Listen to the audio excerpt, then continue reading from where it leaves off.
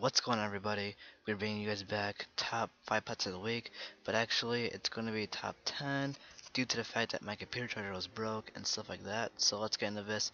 And remember, I don't put any pets in order. I just put pets all together in a video and just do like that. So anybody that's watching us, you see your pet like at number 10 or 9 or 8 or whatever in that first, don't take offense to this please. Alright, so let's get into this. Number 10 we have Fairy, Enfeeble, Double Block, and Proof, which is a very great pet for tanking at 50 or anything at 50. Great pet. Alright, coming to you guys to number 9, we have a Proof, Fortify, Fairy, Enfeeble, Shatter, which is a very great pet if you're doing an Angel strategy, which is level 100. If you don't know what that is, go look it up. I'm sure you'll find some videos. Alright, coming to you guys to number 8, we have a Defy, Proof, Enfeeble, Fortify, Fairy. That's a great pet for any level pretty much. I love that pet. It's really nice. I like it.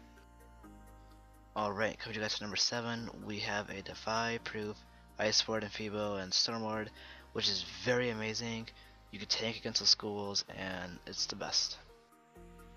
Alright, coming to you guys for number 6, we have Conviction, Proof, Unicorn, Defy, Fairy. This is a very great pet for any level pretty much. Alright, coming to you guys to number 5, we have uh, triple life damage proof fairy, which is very amazing because I never see any life damage pets ever. Coming at you guys to number 4, we have Defy, Proof, Fire Ward, Ice Ward Fairy, another great pet for tanking, and I want all these pets honestly. Coming to you guys for number 3, we have uh, Defy, Proof, Balance Ward, Fairy, Storm Ward, another great pet for tanking and just another pet that I want on my list. Alright, coming to you guys for number two, we have Paingiver, Defy, Fairy, Fortify, Proof, another great pet for any school at any level. Alright, coming to you guys for number one, we have Double Damage, Proof, Infail, and Enfeeble. This is a very great pet even better if it was not Paingiver and make Maycast Fairy, but you know, whatever. This is still a great pet, and honestly, I did not put this pet number one.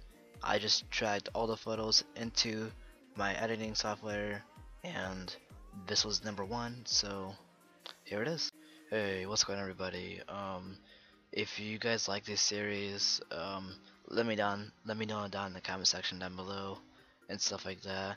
And if you want your pet in uh, any of my videos or these Tap My Pets of the Week videos, all you have to do is either like give me a link to a screenshot or like message me or get in contact with me on Wiz, which is pretty hard because it's I'm pretty hard to find stuff like that. But you can give me a your Skype or whatever or anything I can contact with you with, email, whatever. If you want your pet on my videos, just get in contact with me. That's the best way you can do it and stuff like that. So uh, hope everybody had a good New Year's and Christmas and peace out.